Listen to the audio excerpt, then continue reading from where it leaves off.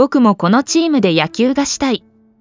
今でこそメジャーで二刀流として活躍している大谷も元踊り地はごく普通の子供でした。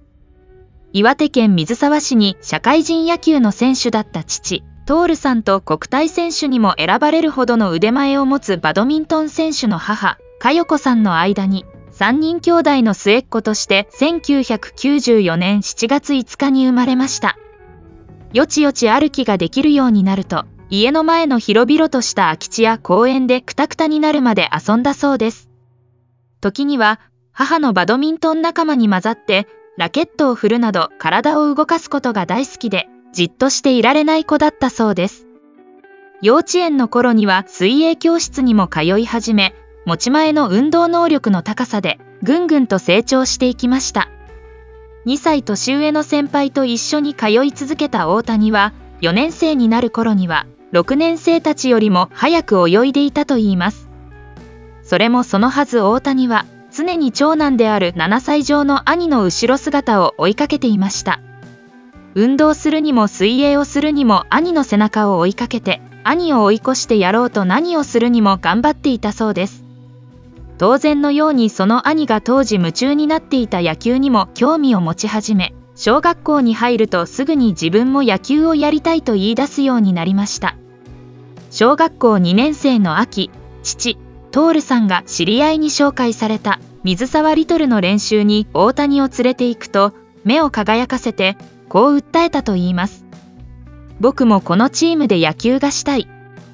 この一言で大谷は野球を始めることになりました。そんな大谷はどのように育てられたのか。母親佳代子さんは次のように語っています。どうやって育ったのかとよく聞かれるんですが私たちには子育てのモットーなんてなかったし架空もありませんでした。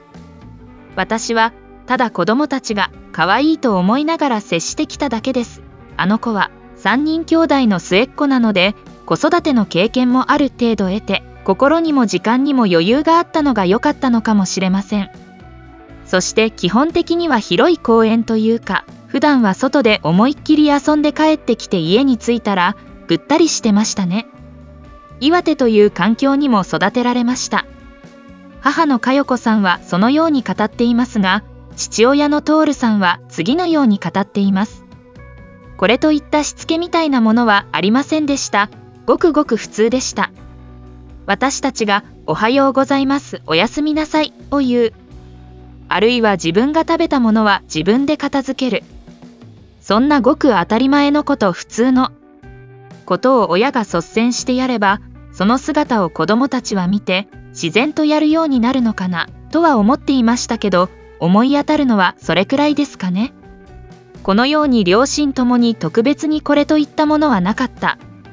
あくまで普通と語っています。当たり前のことを当たり前にできる子に育ってくれればいい。そんな気持ちで子育てをしていたのかもしれません。両親譲りの運動センスに加えて普段から思いっきり体を動かせる。岩手の広大な環境があったのが良かったのかもしれません。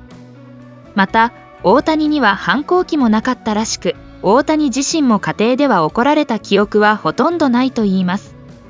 ただ一度だけ父トールさんが大谷を怒ったことがあったと言います。そんな小さなことで怒るんじゃない。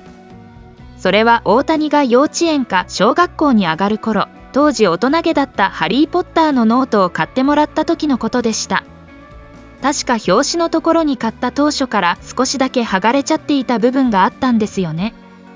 翔平はそれが気になるから自分で色を塗ってみたんですけど思い通りにいかずにさらにおかしくなって泣いて怒って誰が折ったんだみたいな勢いになっちゃうこともありましたと母佳代子さんは当時を振り返ります。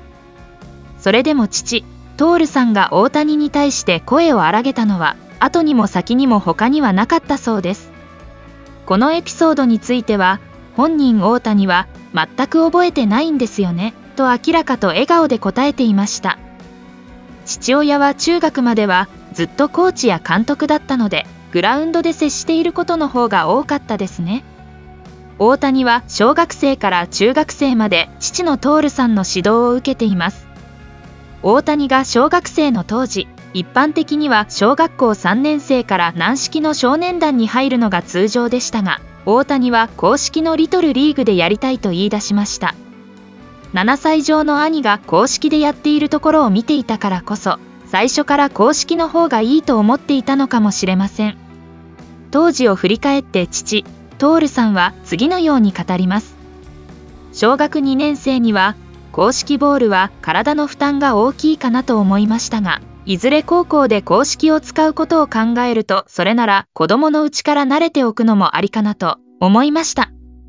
その代わり僕も覚悟を決めてリトルリーグのコーチを志願し仕事を多少犠牲にしてでも翔平の野球に付き合おうと思ったんです翔平と7つ違いで長男の龍太は小さい頃は地元のスポーツ少年団で野球をやっていました。中学校でも軟式です。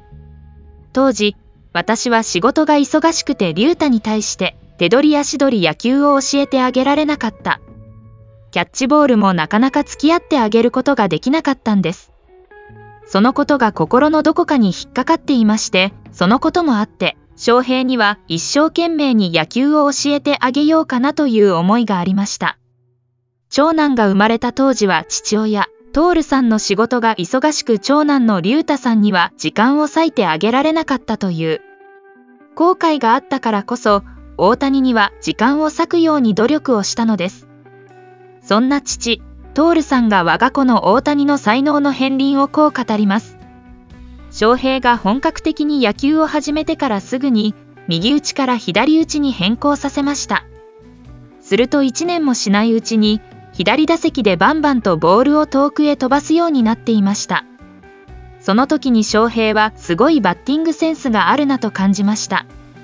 父親のトールさんも現役時代右打ちから左打ちに変えた経験があったそうでしかしトールさんは3年かけてようやくマスターすることができたといいます。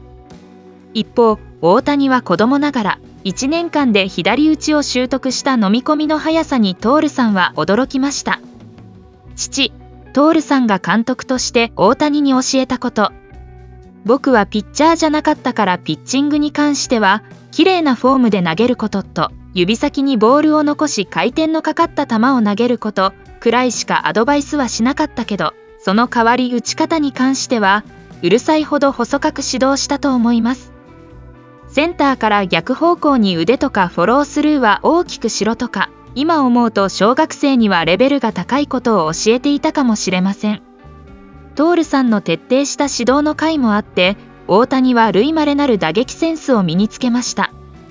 トールさんから英才教育を受けた大谷は常に2学年上の少年たちが練習相手だったそうで、小学校5年生の頃には打席に立つと相手チームの内野手が外野まで下がる。ほど地元では名の知れた強打者になっていました。投げては高速のストレートで三振の山を築き打ってはホームランという無敵の少年だったそうです。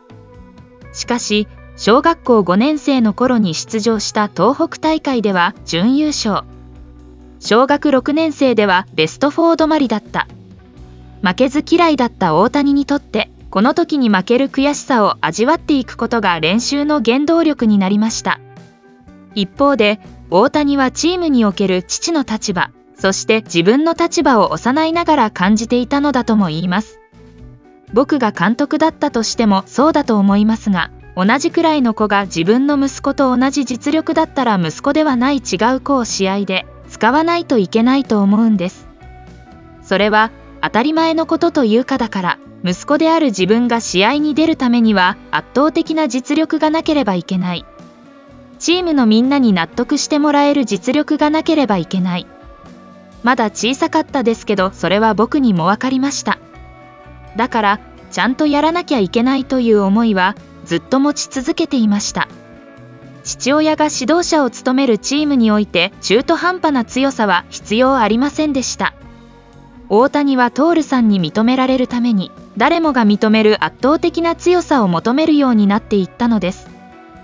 最後までご視聴いただきありがとうございました。このチャンネルでは皆様のご意見ご感想等をお待ちしています。お気軽にコメント欄からご回答ください